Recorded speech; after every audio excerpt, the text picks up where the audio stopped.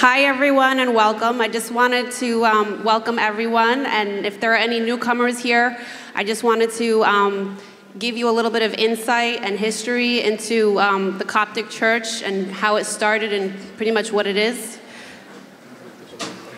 More in the middle? Okay. Um, the Coptic Church is an ancient church started in Egypt by the apostle St. Mark.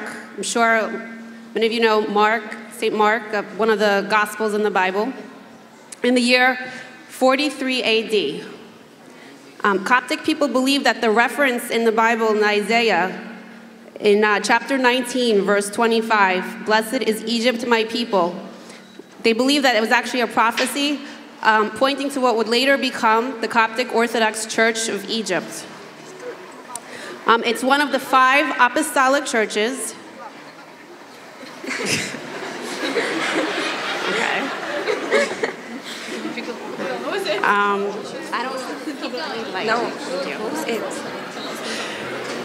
Um, just as St. Peter was the founder of the Roman Catholic Church, St. Mark who was also one of the 70 apostles of Christ, was the founder of the Coptic Orthodox Church. Um, and then that also made him the first pope of the Coptic Church. And he went on to become the first Egyptian martyr in Egyptian Christianity, giving his life for Christianity in Egypt.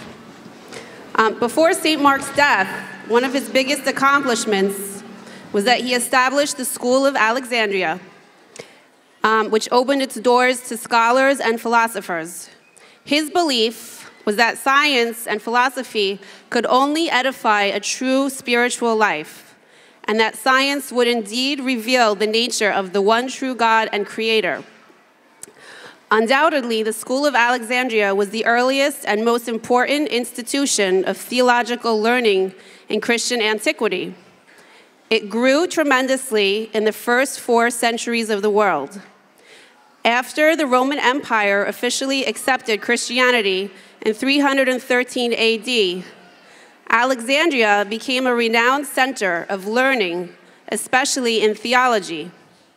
The school was essential in the education of both recent converts and future patriarchs of Christianity throughout the world. Many of the great deans of the school include St. Clement of Alexandria, which is a saint that many churches are familiar with, and he was a gifted author, and Saint Didymus, the blind, who actually formed a system of engraved writing for the blind 15 centuries before Braille started. the Coptic Church is also responsible for the start of the Christian monastic movement. It was in Egypt that the concept of monasticism was invented. St. Anthony the Great was a Coptic Christian and is considered the father of monasticism. Convents also arose within the Coptic Church in Egypt, with nuns such as Abbess Sarah and Abbess Theodora playing leadership roles in the establishments of many convents. The Coptic Church also prides itself as a church of martyrdom. As Christianity grew, the attempts to squash it became more and more fierce. The Coptic Church is recognized as having suffered one of the most violent waves of persecution in Christian history.